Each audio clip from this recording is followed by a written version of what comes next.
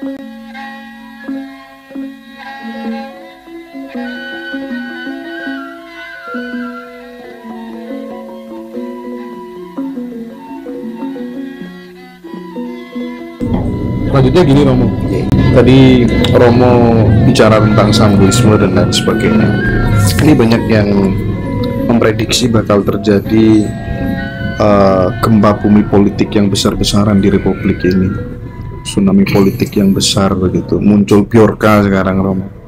Ya kan kemarin habis Sambu dan lain sebagainya gitu. Spekulasi oh bertebaran di mana-mana gitu. Bagaimana panjenengan melihat hal ini? Jadi begini Mas, ada rumus semakin besar aib, maka akan semakin besar pula biaya politik untuk menutupinya. Orang kalau sudah dalam posisi yang tinggi, Mas, orang kalau sudah memiliki kekuasaan yang besar, entah itu legal maupun ilegal, ya, saya ulangi, entah itu kekuasaan ilegal maupun kekuasaan legal, ketika melakukan suatu kejahatan, kebobrokan dan itu akan terbongkar pasti segalanya akan dilakukan gitu ya. dengan kekuatan yang besar pula. -hmm. Maka ibaratnya begini, ketimbang mati malu, mending mati bersama hancur-hancuran kan begitu. Nah ini yang harus diwaspadai sebenarnya, ya kan? Dengan berbagai cerita yang di media itu kan. Terus kemudian dari para pejabat politisi juga sudah mulai digoyang dengan adanya hacker dan lain ya itu kalau saya melihat ya inilah semua itu memang ada upaya seperti itu ya yang namanya tiji tiba itu. Tiji tapi Mati dalam konotasi yang negatif. Ya. Nek mati siji ya. wes pateni kabeh. Gitu. dalam konotasi negatif dalam konotasi negatif ya. ya jadi saya melihat ada gelagat seperti itu daripada malu ditanggung yeah. sendiri ya sudah.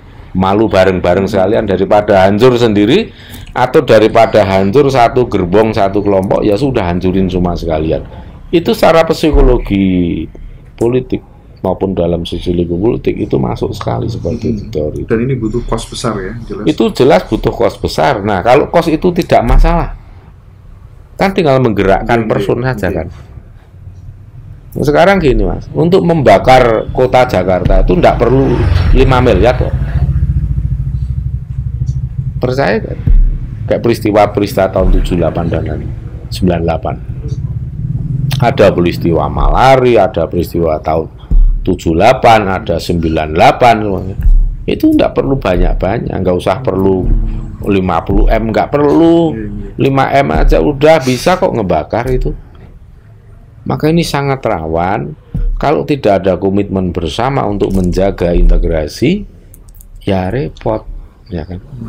Maka ini memang harus ada sebuah kesadaran dari masyarakat untuk membaca. Gelagat politik itu arahnya ke mana tapi mas saya ada suatu keyakinan bahwa kekuatan leluhur tidak akan membiarkan. Tidak akan membiarkan negeri ini hancur dengan konyol hmm. hanya oleh ulah para pecundang okay, okay. oleh para pengecut.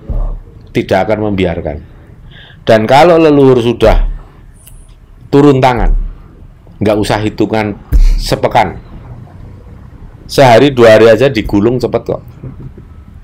Saya yakin tinggal begini saja. Saya mengajak pada sedulur-sedulur semua yang masih menyadari bahwa kita masih butuh NKRI yang ayam-ayam tentrem. Mari gunakan setiap kesempatan ketika kita doa, kita ritual ya sudah. Kita suwun kepada para supernatural power, kepada supernatural being, yaitu adalah semua simbol-simbol kekuatan spiritual yang ada di Nusantara ini. Kalau yang percaya kadewatan bisa mulai dari sana, yang percaya leluhur saja dari sana, kalau yang langsung untuk Tuhan sentris ya monggo langsung berdoa nyuwun pada Tuhan gitu saja. gitu. Tapi intinya kita sama-sama punya komitmen kesadaran untuk menjaga. Pasti yang namanya kekuatan spiritual Nusantara itu akan memberikan respon, akan menjawab dengan sebaik-sebaiknya apa yang kita minta itu. Dan saya gunakan setiap saat. Mohon para leluhur untuk kerso nyari rani piyambak untuk turun tangan langsung mengatasi semua candi olo semua bromo curah yang akan menghancurkan NKRI ini.